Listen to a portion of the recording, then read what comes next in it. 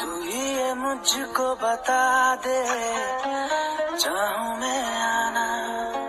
कितना अच्छा गाते हो तुम। मैडम ट्रेनिंग मेरी नहीं आपकी है। चलो गाओ।